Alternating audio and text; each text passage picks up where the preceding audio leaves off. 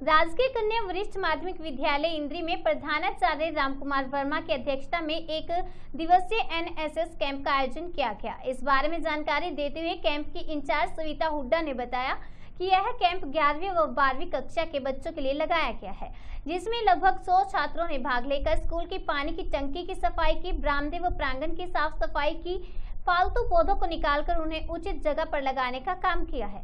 उन्होंने बताया कि इस कैंप के दौरान पुराने पौधों की कटिंग व क्यारियों को बनवाया गया है।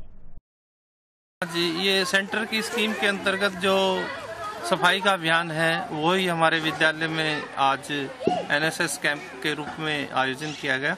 और इसमें बच्चों ने जो पौधे इनके द्वारा लगाए गए हैं, उन पौधों की साफ़ सफ़ाई की और जो बेकार के इधर उधर के जो जंगली पौधे थे उनको उनको उखाड़ कर नए पौधे उनकी जगह लगाए गए हैं और पुराने पौधों की देखरेख की जा रही है। तो उनको उनके अनुसार आत्म संरक्षण के लिए पौधों के संरक्षण के लिए संदेश दिया गया है कि आपने जो पौधे लगाए गए हैं उनकी देखरेख करनी है और उनको परवरिश करके बड़ा करना है। आज का प्रोग्राम एनएसएस के रिगार्डिंग ही है। तो स्कूल की साफ़ सफ़ाई करवाई गई है। पेड़ पौधे जो कुछ नए लगवाए गए हैं, जो पुराने थे, जो डिकेइंग कंडीशन में थे, उनको ठीक करवाया गया है, गमले उनके सेट करवाए गए हैं।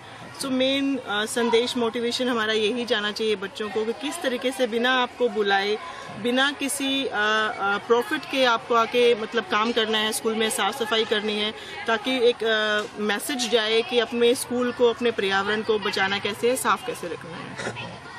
वो पेड़ पौधों से ही होता है तो मेन हमारा आज का जो कंसंट्रेशन था वो पेड़ पौधों पे ही है और स्कूल की ग्राउंड की साफ़ सफ़ाई है।